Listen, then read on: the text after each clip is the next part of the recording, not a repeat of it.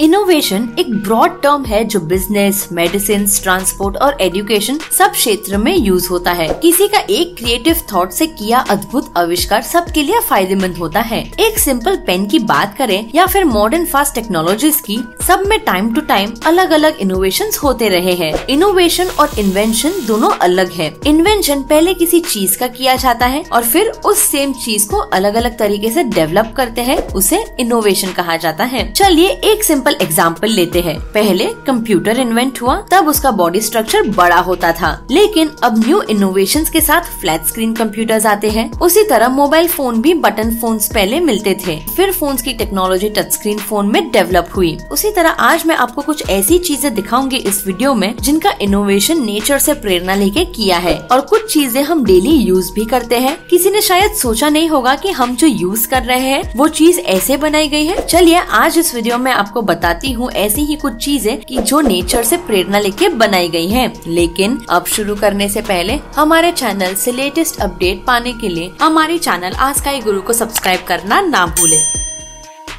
Velcro fastener year 1941 में George the मेस्ट्रेल और उनका डॉग जब घूम रहे थे, तब बॉर्डॉग प्लांट के सीड्स उनके कपड़े पे और डॉग के फर पे चिपक गए। तो मिस्टर जॉर्ज ने इस पर रिसर्च किया कि ये प्लांट कपड़े पे चिपकता कैसे है। प्लांट पे माइक्रोस्कोप से रिसर्च करने में पता चला कि ये प्लांट फैब्रिक के लूप्स को टाइटली पकड़ता है। इससे जॉर्ज को आइडिया आया वेलक्रो बनाने का, जिससे जिप का यूज़ ना करना पड़े। स्टार्टिंग में इनके इन्वेंशन पे काफ़ी प्रॉब्लम आई, लेकिन उन्होंने उस पर काम करा और इम्प्रूवमेंट करना चालू रखा। ईयर 1955 में वेलक्रो डिज़ाइन सक्सेसफुल होने के बाद उसे पेटेंट किया गया। इसी तरह एक प्लान से वेलक्रो का आविष्कार हुआ और आज हम सब इसका यूज़ काफ़ी चीज़ों में करते हैं। Leaf veins inspire a new model for distribution networks research ने प्लांट में डिस्ट्रीब्यूशन नेटवर्क कैसे वर्क करता है? इस बात पे काफ़ी रिसर्च किया है, ताकि कार्गो प्रोडक्ट्स एक जगह से दूसरी जगह भेजते वक्त आसानी से जा सकते हैं। अब इसमें प्लांट्स को स्टडी करने का मतलब ये था कि जिस तरह से लीव्स का एक वेन डैमेज होने से ट्री को कोई नुकसान नहीं होता, उसी तरह रिसर्चर्स ने डिस्ट्रीब्यूशन नेटवर्क मॉडल बनाया गया है, जिससे एक चैनल डैमेज होने पे भी प्रोडक्ट्स ट्रांसपोर्ट होने में कोई प्रॉब्लम नहीं आएगी। जाएगी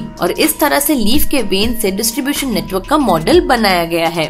Reducing sonic boom effect in bullet train Japanese bullet train speed में बहुत फास्ट होती है और जब ट्रेन टनल से पास होती है, तब उसका बहुत लाउड नॉइज़ होता है। रेलवे स्टेशन के पास रहने वाले लोगों को ट्रेन का आवाज़ काफ़ी परेशान करता है। इसीलिए इंजीनियर्स ने सोचा कुछ ऐसा करते हैं जिससे ट्रेन का आवाज़ थोड़ा कम हो जाए। तब इंजीनियर्स ने देखा कि किंगफिशर बर्ड का बिल शेप ऐसा है जिससे हवा और पानी दोनों बाहर जाता है। इसीलिए इंजीनियर की टीम ने बुलेट ट्रेन का शेप किंगफिशर बिल की तरह बनाने का सोचा और ये इनोवेशन सक्सेसफुल रहा, जिससे सिर्फ़ आवाज़ ही नहीं कम हुआ तो ट्रेन जितना एनर्जी यूज़ करती थी पहले, वो भी पंद्रह परसेंट ऐसी कम हो गई और स्पीड भी दस परसेंट इंक्रीज हुई। इस तरह एक बर्ड के बिल के शेप से ट्रेन का लाउड नॉइस कम करने में मदद मिली।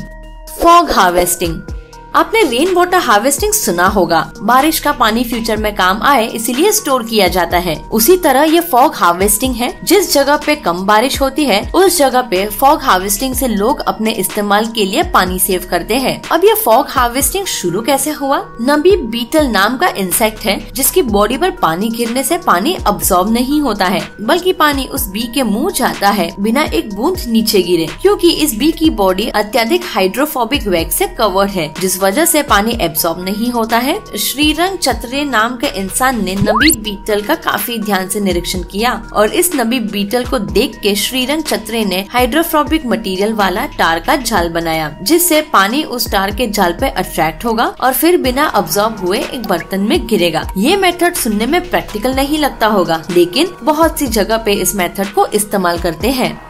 इस तरह से कुछ अलग इनोवेशन इंसान ने कुदरत की चीज़ों से प्रेरणा लेके की है। कुदरत की चीज़ें नेचुरली ऐसी बनाई गई हैं कि कभी कभार इंसान उस पर इतना ध्यान नहीं देता है। अब आपके इस वीडियो पे क्या व्यूज़ है, वो हमें कमेंट में ज़रूर बताइए। और अगर आपको हमारा ये वीडियो पसंद आया होगा जिसे लाइक शेयर और सब्सक्राइब ज़रूर करें। और अगले वीडियो तक के लिए अलविदा दोस्तों, धन्यवाद।